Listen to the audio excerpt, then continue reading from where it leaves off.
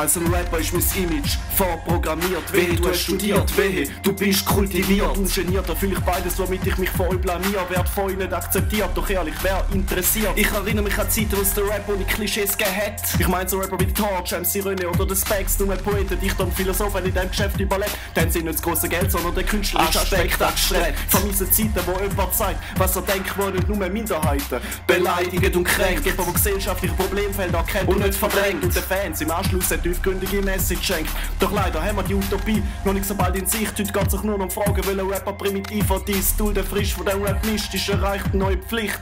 Ist es den Leuten sagen, wie unser Leben tatsächlich ist? Ihr in der Ausbildung fahren aber ein Karre für 100 Mil und sind kaum erwachsen. Aber haben schon bumst die ein oder andere Mil. Sitzen hunderte von Waffen mit einem riesen Projektil, ganz im Ernst, die sind infantil und, und ich glaube, im falschen Film. Du bist eine Kunstform, das soll euch bewusst sein. Wahnsinn und Genie nicht zusammen, doch ihr bleibt eine billige Kopie. Beim Rap geht's um sinnliche Poesie. Jeden Tag kleide ich meine Fantasie Wörter und ihr gehört sie.